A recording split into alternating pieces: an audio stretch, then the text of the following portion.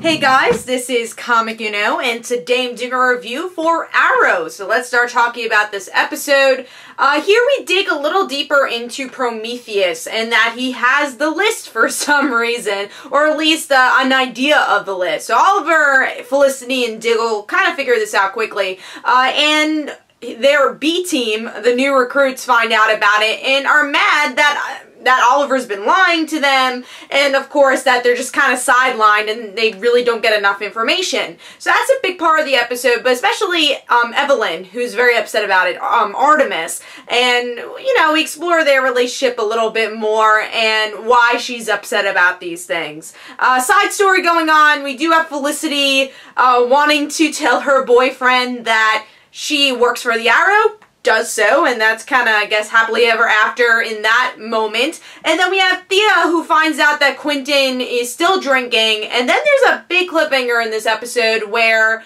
uh, we find out that maybe Quentin is Prometheus, because there are there is evidence that connects to him being Prometheus, and maybe uh, he doesn't even know he's Prometheus because, um, of his drinking. Uh, and maybe he's blacking out when he's Prometheus. We'll have to see. Uh, but I will say, I think that's a red herring. I think they just kind of left it off in that cliffhanger, but it'll be explained that Prometheus might, like, stop by or someone with Quentin. I'm sure he's connected in some way, but I don't think he's Prometheus himself. Uh, do think it's a red herring, and we'll, we'll actually see another story be told there. Uh, so I guess I'll start with the side stories first and then, then going going into the main story. Uh, side story, Felicity, uh, I guess is self-explanatory type story. Gave her a little bit of meat in this episode, but still I feel like she's very sidelined, which is weird because again, she is a character that was so focused in in last couple of seasons, but now her story is just kind of I don't it feels irrelevant, this whole boyfriend story. I'm just not very interested. I kind of, I don't want her to obviously, you know, uh, have so much screen time like she did with the, the last seasons and have drama with Oliver.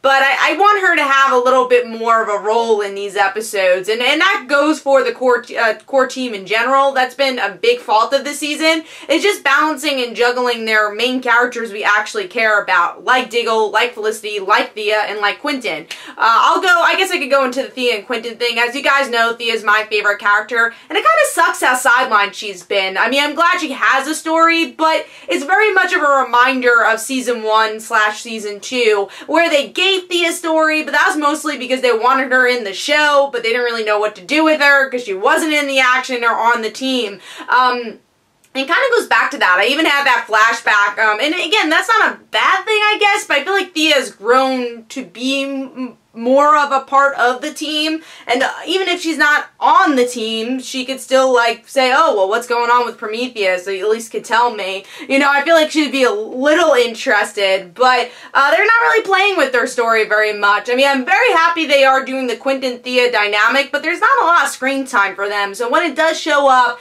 it's uh, it's only like a minute or so of the episode. So again very much flashback to season one and season two.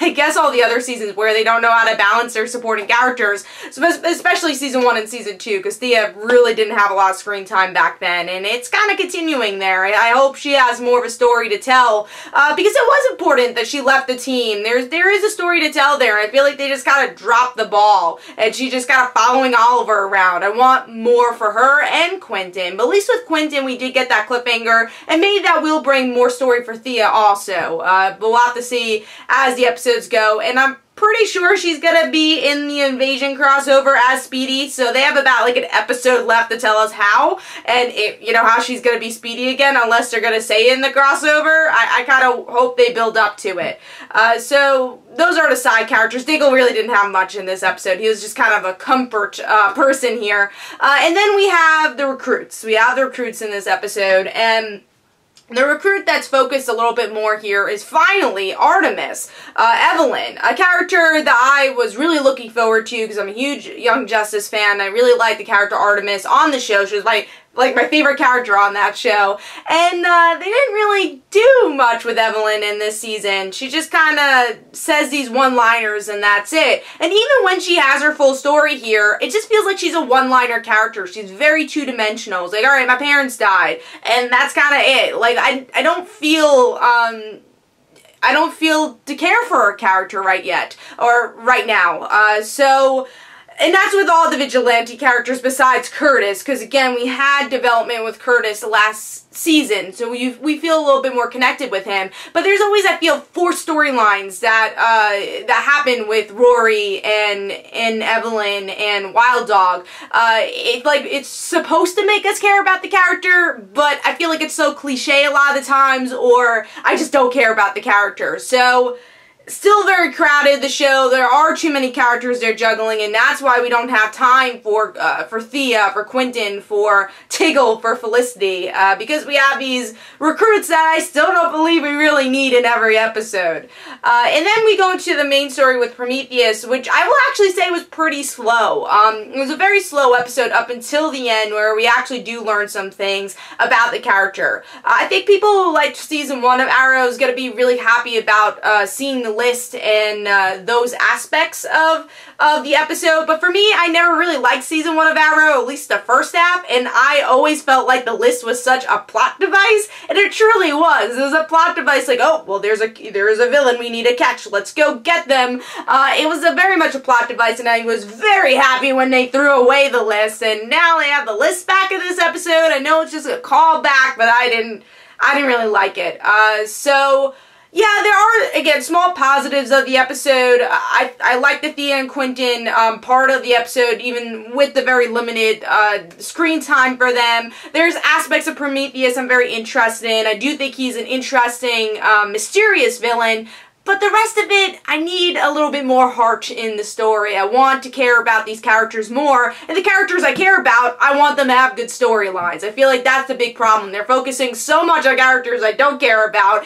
and, and not making me care about them, but then the characters we've grown to love for seasons are pushed to the side and don't really have a storyline of their own. So that's been the big problem for me for Arrow, but let me know in the comments below what you thought of this episode. Um, where do you think the Prometheus story is going to go next episode? And what do you think is going to happen for the rest of the season? Do you think it's going to kind of continue this? Uh, what would you like to see for Arrow? So hopefully you guys enjoyed. This is Comic Uno. Don't forget to follow me on Twitter. Don't forget to like my Facebook page. Also description below, there are links for my comic book, like Father Like Daughter. And don't forget to like the Facebook page of Like Father Like Daughter. And I'll see you guys later. Bye.